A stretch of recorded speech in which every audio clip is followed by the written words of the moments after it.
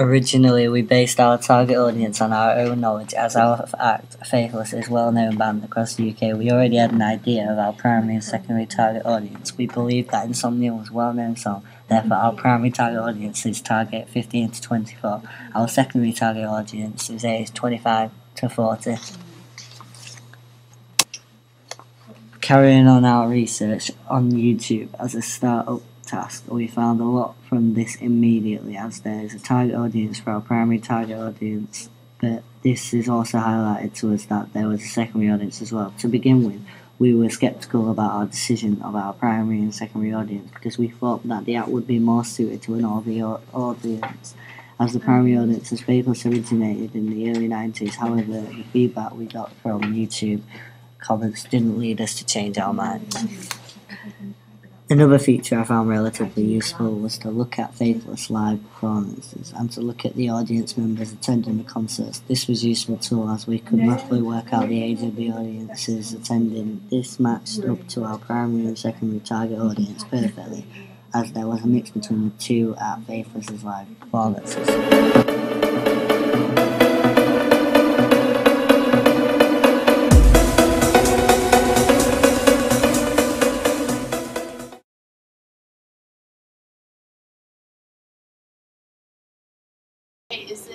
I started by showing a potential primary audience some pictures of our artist. These are the pictures shown. I decided to show a variety of pictures of our artist, Faithless, and asked people whether they knew who this was. If my target audience didn't know who the person was in the pictures, I would then show them the track that we would be using. Right, so do you know who that is, Rose? No. No. Yeah, it's uh, Faithless. No. Track. No. Do you own or stream anything by this track, by this act? Yeah. Uh, what would you expect to see in their videos? Um, I don't know. Dark themed video. From that picture, yeah? Yeah. What about now? Yeah. Who's that? Uh, Faithless. No. Thank you. Do you know this song? No. Sorry. I don't want to guess, get to get it wrong. Just guess, just guess. Uh, Snoop Dogg. We created a range of sample sequences, five in total, and told them the idea of what we were going to do for this video, and that gave them a taste of what it was going to be like. One of the questions we asked was, Do you think this idea is appropriate for our target audience?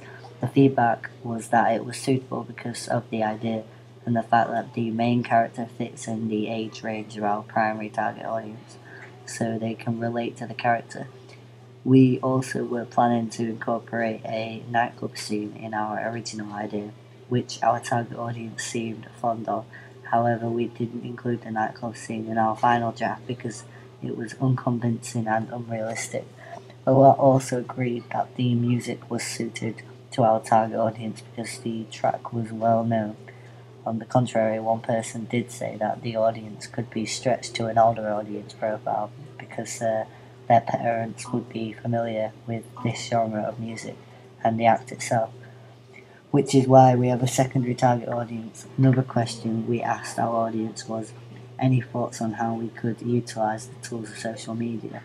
The majority said Facebook was a key tool, especially for people who have a lot of followers.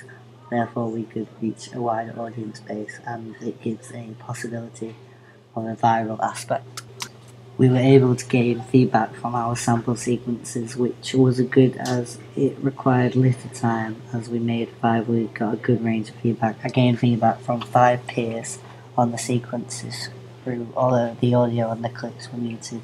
The feedback boiled down to both positive and negative. The positives were the track itself was good, black and white filter was effective, the effects used, example, the uh, time lapse on the chair was also effective. The negatives were the lip syncing was out of time in some sample sequences, and some of the scenes had no relevance to the overall theme. The audience feedback from this was useful as we knew what to do and what not to do when it came to creating our records. It also gave us heads up on what we had planned to shoot, as we could change this accordingly and save time. One of the key pieces that arise from our audience feedback was our nightmare scenes. We originally had a masked character and this was very unconvincing and didn't fit in with the style of our music video at all, which is what we were told. We were therefore changed the idea completely to a, comp- to a little girl, which which gave the text verisimilitude as well as Stuart Hall's preferred reading, which is what we hoped for. So the feedback was very useful as it allowed us to change our character and know that it was what our audience would prefer.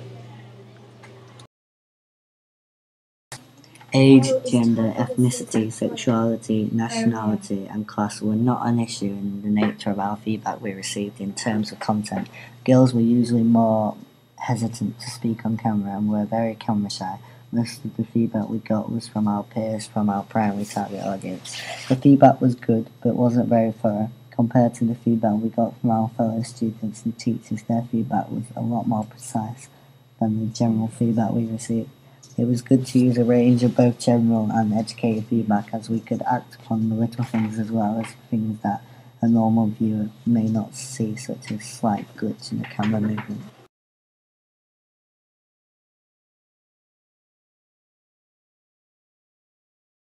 And out of a total of 33 people, I asked a number of different questions.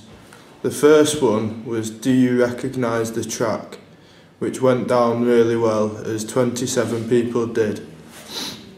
However, 15 of these said they would put it on their iPod, so that's roughly about 50%, which is good, so our primary target audience do like the song. Uh, in terms of the narrative, it was split 50-50 between easy to follow and the audience getting some of it. And then no one opted for the don't understand it option, which was good. So everyone could follow the video. Also, 28 people said it would suit a 15 plus audience, which is exactly what we wanted from our primary target audience. When it comes to the more open-ended questions, we asked what the viewers liked and what they disliked about the song. And one of the key occurring themes were the effects and editing, which a lot of people really liked, which was good because we did try hard with that. Also, the black and white effect was very well liked. A lot of people liked that. Um, in terms of disliked, some people thought it was a bit repetitive, which I can see in some of the scenes, but it's hard to change the narrative to fix that. But we'll have to see what we can do. Also, the uh, floating heads at the start on the green screen, that occurred as a regular dislike, which we will have to act upon. And also, the videos slowing at the end so it loses pace, which is, I agree with that, and we should act upon that and not lose the emphasis that has been gaining through the video. Uh, the suggestions we got were more dance scenes, and dance scenes I would say no to, because I just don't think it would fit in with the theme of the video at all. And also less aggression. And for the aggression, that's it's kind of what our character has to do, so there's not much we can do about that. But this audience feedback we will act upon and make a further rough cut.